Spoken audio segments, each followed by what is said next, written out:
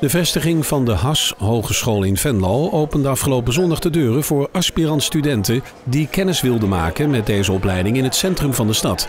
We hebben bewust gekozen voor een gebouw midden in het centrum van de stad, vlakbij het station, zodat we als school goed bereikbaar zijn. De consequentie daarvan is dat we aan de school niet heel veel praktijkfaciliteiten hebben.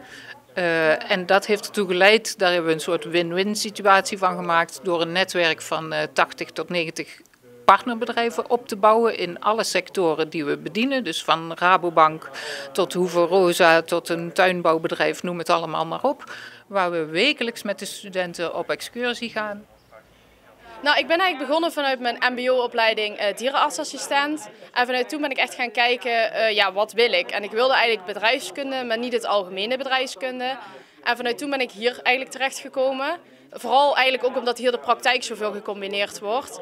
En wat we daarbij ook zien is dat echt de theorievakken in samenwerking met de praktijk, dus de bedrijfsbezoeken en de projecten, ja, dat dat zo mooi bij de theorie aansluit dat het je uiteindelijk de theorie het makkelijker maakt.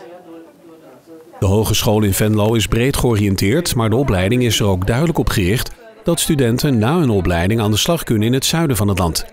Dat is in ieder geval ook de doelstelling van de regio. En er zijn banen genoeg. Je merkt echt dat de Battle for Talent steeds nadrukkelijker eh, een rol speelt. Dus heel veel studenten hebben al een baan voordat ze goed en wel een diploma hebben. Dus dat gaat eigenlijk hartstikke goed. Ja.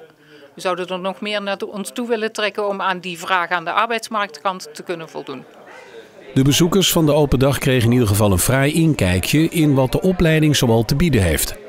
Heel erg leuk ook omdat het inderdaad toegepast is. Dat je heel veel gewoon in de praktijk leert. Maar ook alles wat je uit de boeken leert, leer je in principe ook gewoon in de praktijk. Dus in mijn idee blijft het dan ook beter hangen bij je. Dus dat, uh, ik ben nog wel enthousiast erover. En een biologielesje over de werking van het hart. Daar kan een luchtje aan zitten. Ja, het stonk wel naar vis.